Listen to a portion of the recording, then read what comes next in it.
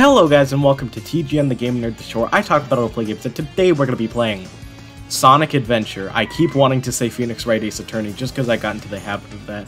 When you do something like almost 40 times, you just get kind of used to it. Anyways, in this episode we're going to go ahead and...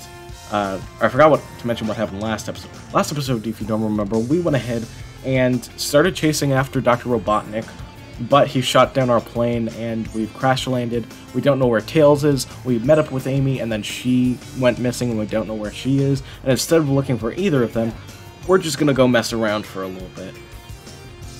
An interesting to note about the uh, ID card is in the Christmas DLC, at least the 1999 one, there there were issues where it didn't like spawn in properly because there was a Christmas Christmas tree there.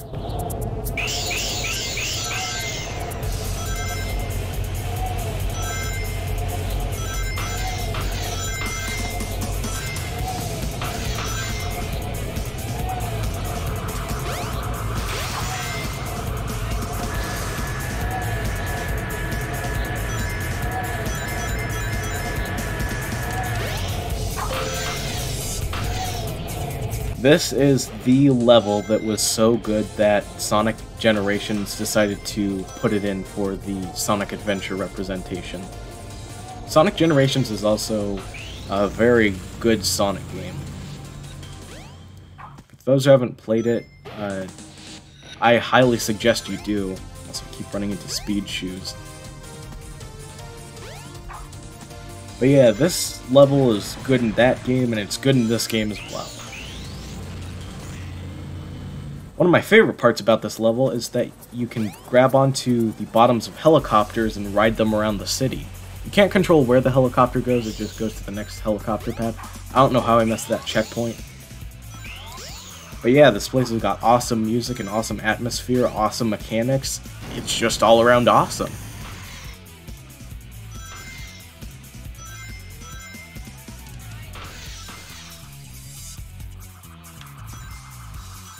I don't know why I remember this, but uh,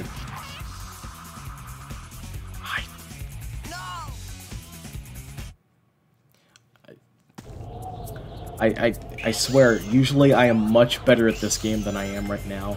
It's just that when I'm trying to commentate and I start thinking about stuff, my brain just stops all my motor functions, I guess. I have a lot of memories that I want to share with you guys. Like, as I start to, you know, remember stuff, I'll share it with you guys. Because my memory's not very good, but, like, sometimes just memories get triggered by stuff.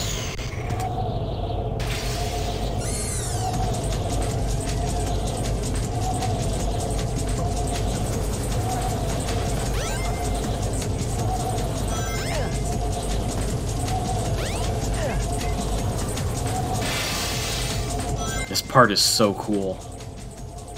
Just running down the side of a building is just... Ah, it's just...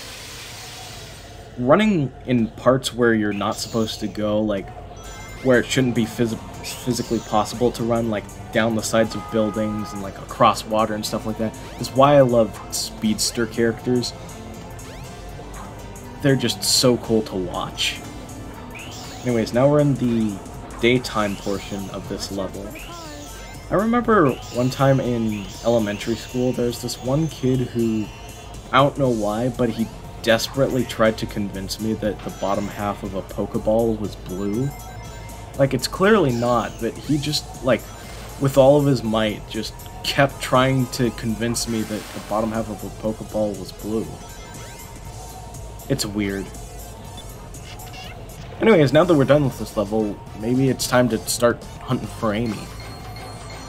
Sounds like we're gonna kill her. No, we're just gonna search for her. Yeah, not bad.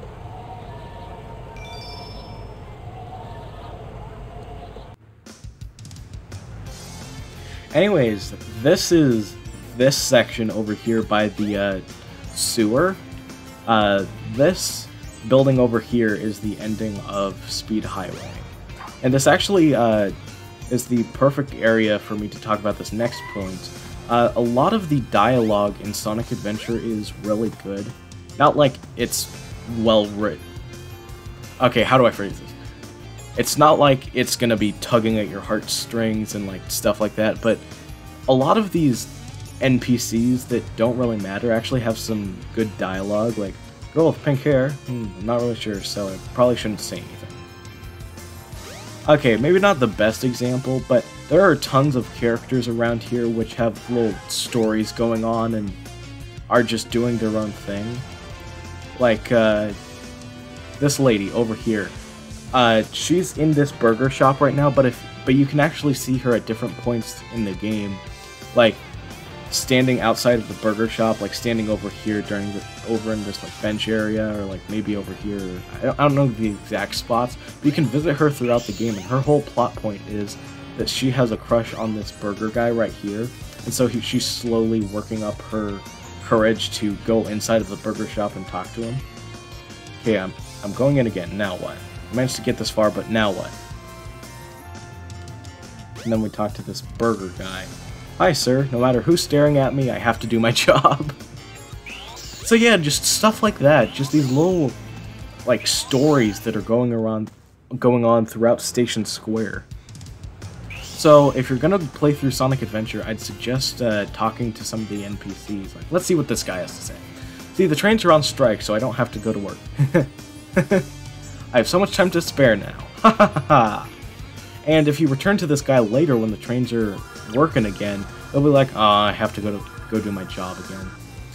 And they also provide an in-universe reason as to why you can't use the train to go to Mystic go to the Mystic Ruins, because if you did that would that would ruin some parts of the story. We're sorry for any problems. You're having problems, right? Sorry. this game is just well written. Finally, we've got a chance to talk everything out. I hope two sides just don't make a lot of plans. We're willing to compromise a little.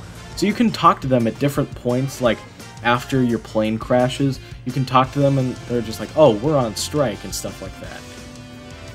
Let's see what this little girl has to say. Let the train start up again soon. I know my dad wants to come home as soon as he can. I'm sure if you talk to her again later, she'll probably be reunited with her father.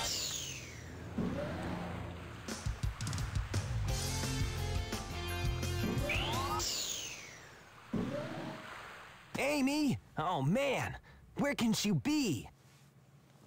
Ah! Sonic! Help! I'll cut him off at the Mystic Ruins.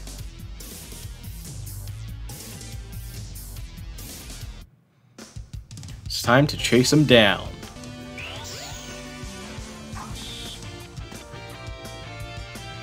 To Mystic Ruins.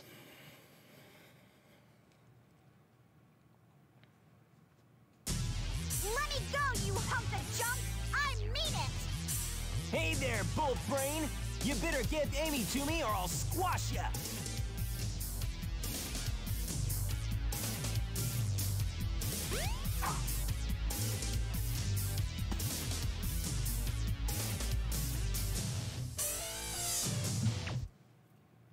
Hey, what's happening here?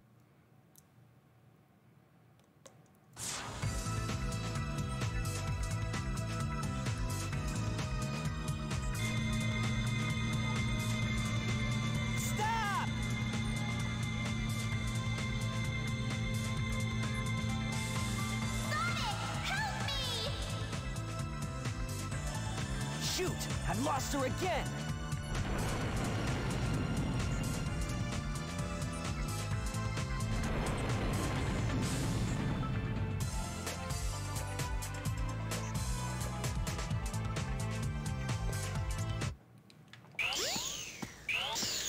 So now we're going to be tracking down the egg carrier. This will also lead us to our next, uh, not upgrade, but our next item, I guess? I don't know. I'll probably come up with a better word in editing, so I'll put it up on screen. The Ancient Light. This is the ancient light. Try the light speed dash toward the enemy. With this, you can now do the light speed attack. So now we can light speed dash enemies. Like this monkey right here. and that opens up to the next level. But before we go in, also hi to that monkey guard wasn't there. Well, it's not now, so we don't have to worry about that. Uh, earlier I was talking about Ice Cap Zone, and if we head over here, we have the altar for the Master Emerald. So yeah, this actually is Angel Island. It's just, it's just fallen down again. And I think that's because a part of, yeah, you can see right here, a part of the Master Emerald is missing. Which will explain why Knuckles was you know, worried about the Chaos Emeralds and stuff like that earlier when we fought him. But like I said before, we'll learn more about that when we go through Knuckles' story. Anyways, stage number 10, I think? 7, okay. I've been through less of this game than I thought.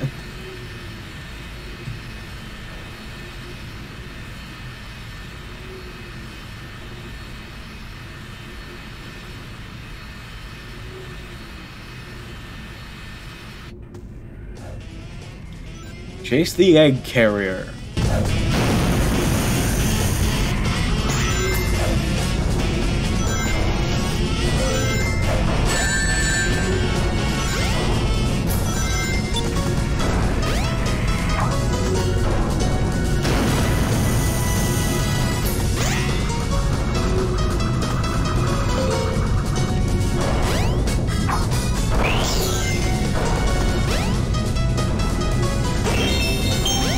I could gush about this game's soundtrack for hours, so I'll go ahead and stop that right here and just say, go listen to the soundtrack. It is amazing.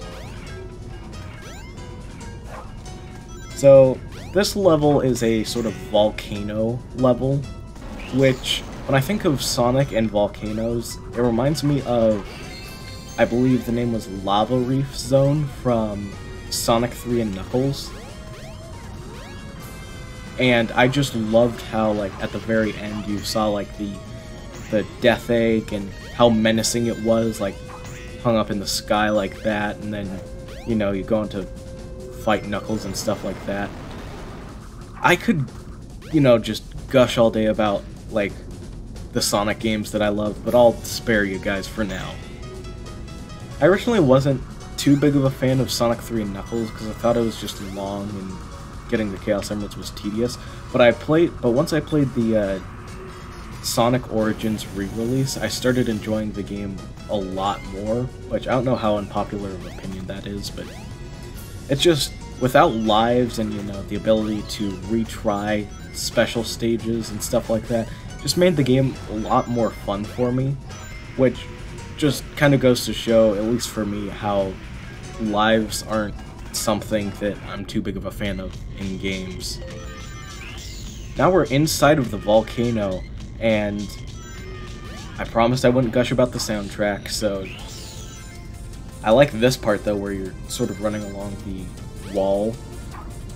I don't know how I saved myself from that, but it looked cool anyway.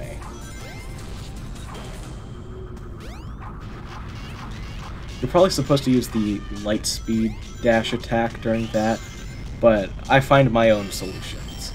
That's not how the camera was supposed to work. Speaking of cameras, I usually don't have too much of a problem with cameras in games. Like, I've heard a lot of people talk about how they hated the camera in late 90s 3D games like Sonic Adventure and Super Mario 64 and Ocarina of Time, and I've just never had too much of, of a problem with them. Like, I just sort of go where the game... okay, that was my fault. I just sort of go where the game just kind of expects me to go. I probably should explore games more, but I've, I've just never really had too much of a problem with cameras in games. Maybe I just need to play more games, though. I usually am able to jump over that. Also, the uh, prisoners in here look like uh, characters from Super Paper Mario. Uh, I'll put up the ones on screen that I'm talking about.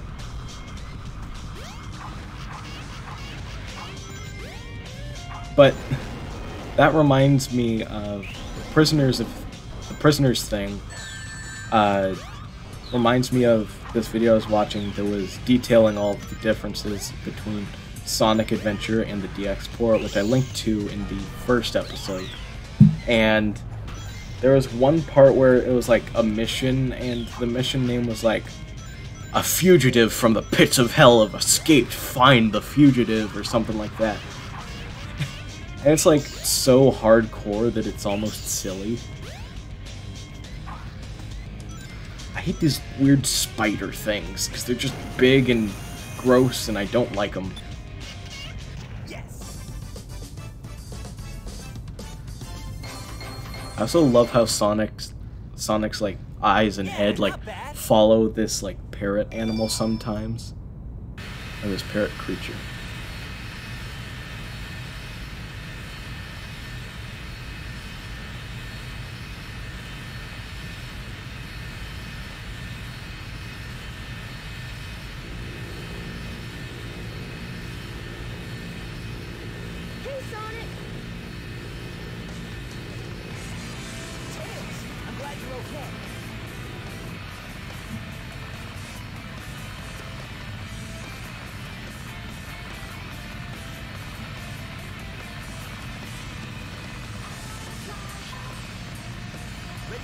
Champ? Let's go!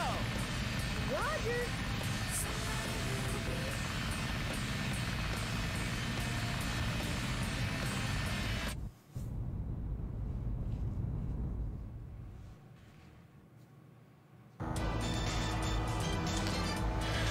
Yeah, it's Sky Chase Act 2. Uh, interesting trivia, though, is that originally, I don't know if it was for Act 1 or Act 2, but originally there was supposed to be a two-headed dragon boss fight, which sounds super sick.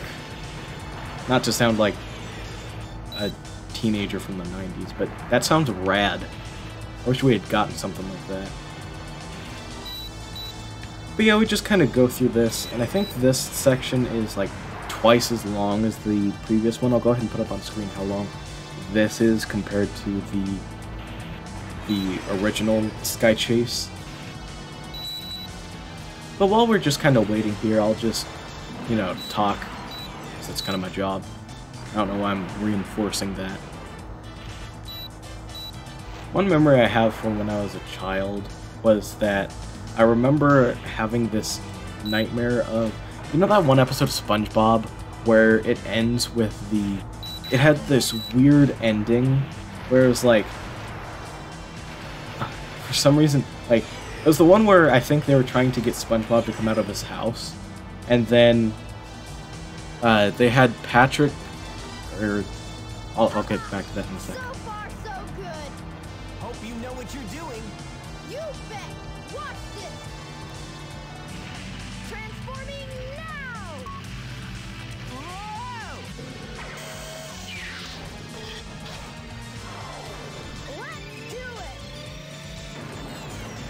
Now we're in our new battle mode, I guess, is the best way to describe it. It probably has an official name, so I'll put that up on the screen. But yeah, the SpongeBob episode I was talking about, it ended with Sandy having Patrick dress up in a gorilla suit to scare SpongeBob, and then when, and then, uh, you know, he came up in the suit and it was like, oh, I'm gonna attack Sandy, and then Patrick came up and then it was like, who's in the gorilla suit? And then Patrick was like, I am in the gorilla suit. And then it was like, then who's that over there? And, and then like a gorilla was wearing a Patrick suit. Anyways, I had a nightmare about that when I was young, where like I don't know, it was like a horror movie. I like couldn't move. I was in my living room and it was late at night, and I just looked out my window and the monkey was like slowly approaching and like I would pull the curtains over the window and then I'd look and it, it and it was like slightly closer and then I'd keep doing that over and over until it was like right up against the glass and I don't know why that scared me when I was when I was so young but yeah. Now we can actually attack the egg carrier. Whenever it opens up like that you have to shoot at it and then get out of the way as it's shooting that huge death beam. Sometimes I've been able to uh, kill the egg carrier in one go. There we go. Took me two rounds, but, you know, I'm still alive and kicking, so that's good.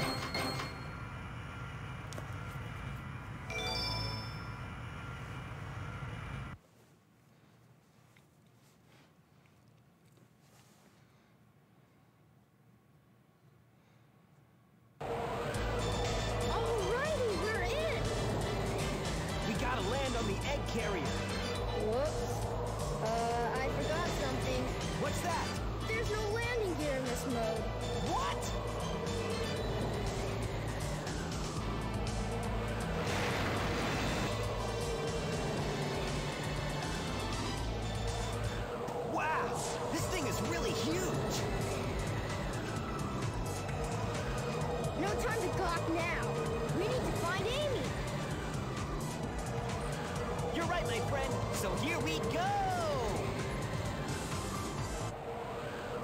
And we'll have to go and save Amy in the next episode. I know that we keep ending off before we go to search for Amy. But anyways, thank you guys so much for watching. In the next episode, we're going to go ahead and go find Amy, and hopefully we'll actually find her this time and not spend another couple episodes looking for her. Hope you guys enjoyed, and I'll see you guys next time. Better get going. Bye-bye!